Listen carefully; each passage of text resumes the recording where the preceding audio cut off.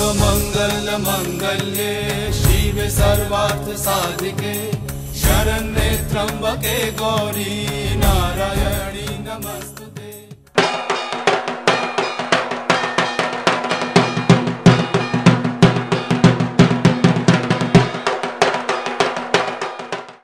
এখন এই মুহূর্তে আমি বেরিয়ে পড়েছি পুজো পরিক্রমা নিয়ে আর চলে এসেছি দমদম পার্কের ভারত চক্রে এখানে আসলে বুঝতে পারবেন পুরাণের এক কথা। আগেকার দিনগুলো মনে করুন, বাড়ি ঢুকতেই একটা তুলসী তলা, তার পাশে বেলগাছ, কিন্তু এখন দিনে দিনে কোথাও এরকম কোনো এনভায়রনমেন্ট কিন্তু দেখা যায় না। সেটাই ওনারা অর্থাৎ ভারত চরকের ক্লাবের মেম্বার্সরা তুলে দিতে চায় আমাদের দর্শকের কাছে। এই মুহূর্তে আমি আছি সুভাষ দার সাথে। সরাসরি সুভাষ দাকে জিজ্ঞেস করব। একটু যদি বলেন কততম বর্ষে পা দিল আপনাদের এই পুজো কমিটি? আমাদের এটা এগারোতম বর্ষ। কি থিম নিয়ে ভেবেছেন? আমি যেটা বললাম মানে গাছ সেটাই কি? হ্যাঁ গাছের উপরেই আমাদের পরিকল্পনা। আর যদি দাদা একটু বলেন মণ্ডপ সজ্জায় বা মণ্ডপ পরিকল্পনা এবং প্রতিমার রূপ কে দিয়েছেন?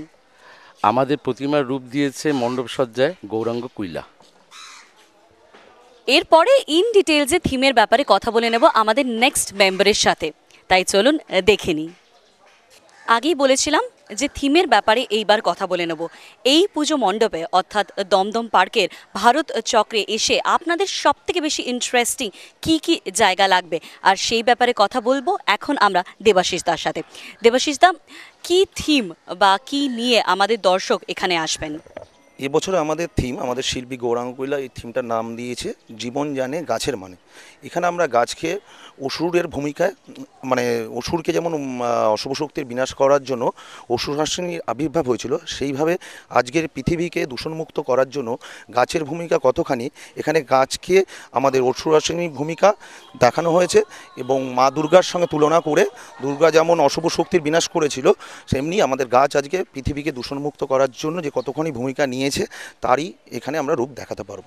একটু যদি বলেন স্পেশাল অ্যাট্রাকশন জোন বা ঢুকে কোন জিনিসটা সব থেকে বেশি ক্যাচি লাগবে আমাদের দর্শকদের? আমাদের দর্শকদের কাছে পৌঁছে দেওয়ার জন্য এখানে দেখতে পাবেন প্রথমে ঢুকেই আপনারা হয়তো আমাদের ছবির মাধ্যমে দর্শকদের হয়তো দেখাবেনও।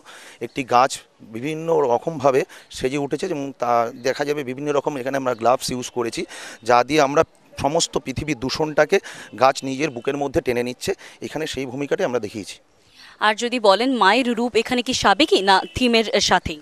মায়ের রূপকে এখানে আমরা থিমের সাথেই দিয়েছি, কিন্তু তার মধ্যে সাবেকি চিন্তাভাবনাও রয়েছে এবং এটা অন্যান্য দুর্গামূর্তির থেকে এই পরিবেশ সচেতনতার ব্যাপারে একটু আলাদা করে আমরা তুলে ধরেছি। গ্লোবাল ওমেনাইজিং বা গ্লোবাল ওয়ার্মিং এই সময়ে দাঁড়িয়ে গাছ কিন্তু আপনাদের সকলকে বাঁচাতেই হবে, তাই আসতেই হবে এই পুজো মণ্ডপে, অর্থাৎ দমদম পার্কের ভারত চক্রে। আপ্যায়ন। আপ্যায়নটা কিন্তু আমাদের সব থেকে ইম্পর্টেন্ট জিনিস। কারণ আপ্যায়ন ছাড়া কি আর পুজোটা সম্পূর্ণ হয়? তাই জেনে নেব সরাসরি গৌতম দার থেকে কীভাবে আমাদের গেস্ট দর্শক ভিআইপিদের আপ্যায়ন করে নেবেন। গৌতম দা কি পরিকল্পনা আছে? কি চিন্তাধারা আছে? সবচেয়ে বড় ব্যাপার একটা পুজোকে সব দিক থেকে সুন্দর করে তুলতে গেলে আপ্যায়নটা একটা বিশাল বড় ভূমিকা। আজকে আপনারা যে ব্যবস্থা করেছেন সেটা সত্যিই আমাদের কাছে একটা ইনোভেটিভ মনে হচ্ছে। একটা নতুন ধরনের জিনিস, সবাই নানান রকম পুরস্কার দেয় সব কিছু কিন্তু আপ্যায়ন মানে আমরা কতখানি অতিথি বাৎসল যেটা আমাদের বাঙালি সমাজের সবচেয়ে বড় জিনিস। সেই অতিথি বাৎসল্যতা আমরা কতটা প্রকাশ করতে পারব আমাদের পুজোর মধ্যে দিয়ে, সেটাই আমরা দেখাবো।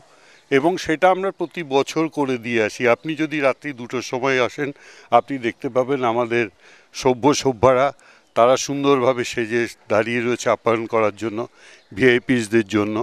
আমাদের সিকিউরিটি আর যে সারা পৃথিবীতে যেটা নিয়ে বড় প্রশ্ন সিকিউরিটির দিক থেকে আমরা গোটা অঞ্চলটাকে আমরা চারটে সার্কিটে ভাগ করে ক্লোজ সার্কিট টিভি দিয়ে কভার করে রেখে দিই সব সময়। আমাদের পুরো প্যান্ডেলটা একটা সিকিউরিটি জোন দ্যাট ইজ মানে জলের ব্যবস্থা করা থাকে। যাতে কোনো রকমভাবে অগ্নি নির্বাপক সমস্ত কভারেজ থাকে। এবং সর্বোপরি আমি বলেছি, স্বতঃস্ফূর্ত সারা আমাদের ক্লাবের সমস্ত ছেলেরা, মেয়েরা আমাদের বিশেষ অতিথি অভ্যাগত শুধু নয়, যারা সাধারণ মানুষ, যারা সাধারণভাবে পুজো দর্শন করতে আসছেন, তাদেরও আপ্যায়নের ব্যবস্থা রাখেন। সঙ্গে ভিআইপিস অর্থাৎ বিশেষ অতিথি অভ্যাগতদের জন্য আমরা বিশেষ ব্যবস্থা করে রেখে দিয়েছি। দাদার কথা কিন্তু এটা ক্লিয়ার হলো। রাত তিনটে বলুন কি ভোরবেলা চারটে বলুন, যখনই আসবেন টোয়েন্টি ফোর ইন্টু সেভেন দাদারা কিন্তু আছেন আপনাদের আপ্যায়নের জন্যে। একটা কথা কিন্তু আপনাদের মানতেই হবে যে প্রত্যেকটি ক্লাব এবার কিন্তু কোনো না কোনো সোশ্যাল মেসেজ দিচ্ছে আমাদের দর্শকেদের। তাই আপনারা আসতে ভুলবেন না কিন্তু দমদম পার্কের ভারত চক্রে। আর চলুন এবার সরাসরি দেখে নিই যে কীভাবে ওনারা করবেন সেলিব্রেশন মানে যদি ওনারা জিতে যান আমাদের সিটি সেরা আপ্যায়ন অ্যাওয়ার্ড টু থাউজেন্ড ইলেভেন তাহলে কীভাবে ওরা সেলিব্রেশনে মাতবেন? স্মৃতি সেরা আপ্যায়ন পুরস্কার জিতবে কারা? ভারত চক্র আবার কারা? স্মৃতি সেরা আপ্যায়ন পুরস্কার জিতবে কারা? ভারত চক্র আবার কারা?